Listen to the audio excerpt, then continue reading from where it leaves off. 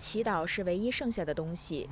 Lord, we are ready for whatever you have planned for us. And we will lean on you and trust in you. And we're asking, Lord God, that you will provide jobs here at Lordstown. For this 祈祷者米歇尔·里波希望这家他在过去十八年里工作的工厂能够继续经营。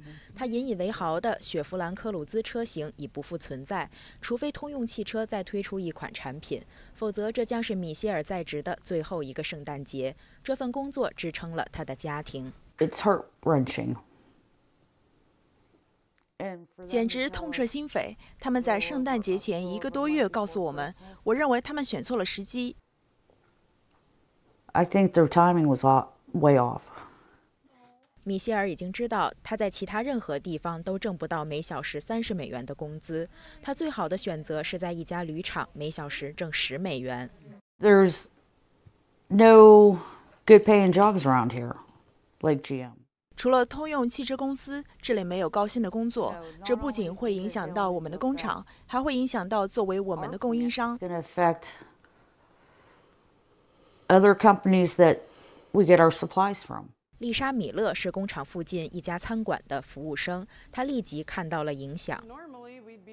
一般这个时候，通用汽车公司会打来电话订购三十份外卖午餐。但现实是，餐厅空荡荡的，因为通用公司的员工们开始关注自己的银行账户。丽莎希望通用汽车能够理解这种影响。我相信，既然他们能抛弃这么多人而意识不到他们正在摧毁整个社区，那么如果美国人民抛弃他们，就像他们抛弃我们一样，他们就会感受到减薪的滋味儿。但愿在中国和墨西哥的工人使他们这样做是值得的。丽莎迫不及待地想要还清她的通用汽车贷款。她说，这将是她最后一次购买通用汽车。即使已经退休的通用汽车员工也受到了这一决定的打击。我不知道我的房子是否还会有价值，我的房产价值将会下降，我们可能会被困在这里一段时间。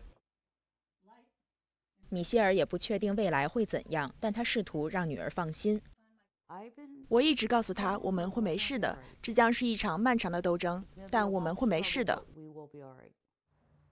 他只是这个小镇上许多不准备放弃的人之一。God bless America, land that I love. 美国之音记者吉普森，俄亥俄州洛兹敦报道。